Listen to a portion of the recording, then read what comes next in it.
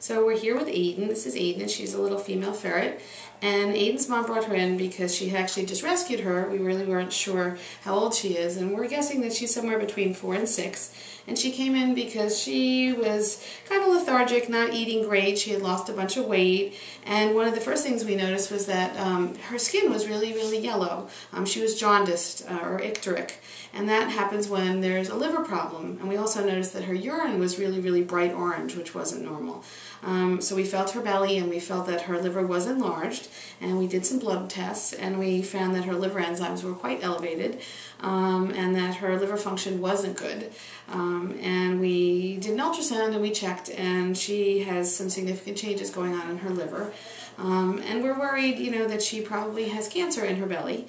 And unfortunately, cancer is a really, really common thing in ferrets. Um, they're wonderful, but they, they all tend to get cancer you know, as they age. Um, so we had a discussion, her mother and I, decided that, you know, we couldn't really cure her, but that we were going to make her as comfortable as possible. So we put her on some prednisone, which is a steroid, which is one of the first forms of chemotherapy that we use, and ferrets really tolerate it very, very nicely, um, and they don't have any of the negative effects that we see in, in dogs or cats or even people. And in just, um, you know, uh, over a little over a week, she's gained some weight. She's much more active. You can see that she's, you know, struggling here to stay still for the camera. Um, and we really just wanted to tell you this because, you know, we can't cure every animal that we see. Um, but part of what we do here at the veterinary center is to try to make animals feel comfortable even when they have a terminal disease or something that's incurable.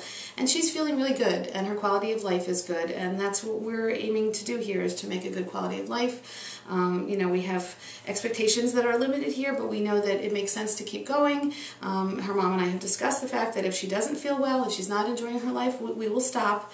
But for right now, she's uh, struggling around and trying to get away from me and looking for food or someone else to play with. So if you notice that your ferret is sick, um, if things don't seem right, please don't wait. Come on in and let us take a look and let us see how we can help you and your ferret.